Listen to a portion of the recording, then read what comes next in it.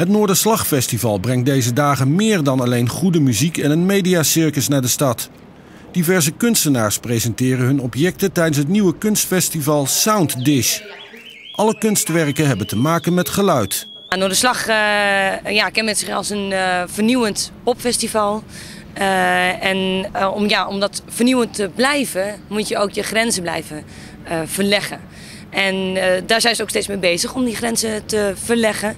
En ja, zo zijn we op het idee gekomen om ook de grenzen naar kunst te verleggen. Op verschillende locaties in de binnenstad zijn de kunstwerken te zien en te beleven. Zoals in de bioscoop Images en in kunstacademie Minerva. In de openbare bibliotheek staat het kunstwerk Enter van Martin de Wolf. Het is een, uh, een stelsel uh, van PVC-buizen waar je doorheen kan praten. Met vier mensen in plaats nemen. En uh, ja, je zit heel dicht bij elkaar, dus heel intiem. En door de buizen wordt het geluid geïntensiveerd. Daardoor ja, is het geluid ook heel dichtbij. Zo, eh, dat is een hele ervaring, of niet? Ja, dat is een heel erg bijzondere ervaring. Uh, het is heel erg intens, want de externe prikkels, die zijn, daar ben je van buiten gesloten.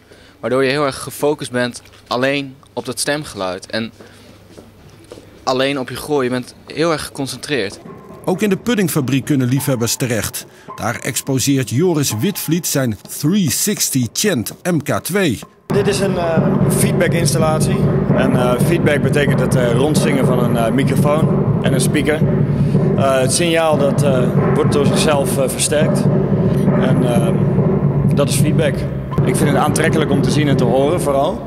Maar wat ik ook doe is, ik werk met, met bijgeluiden en storingen. En ik probeer ze zeg maar, zo te verpakken dat het, dat het bijgeluid het onderwerp wordt. Het is kabaal, maar ja, dat geeft mij... kan ik wel op prijs stellen.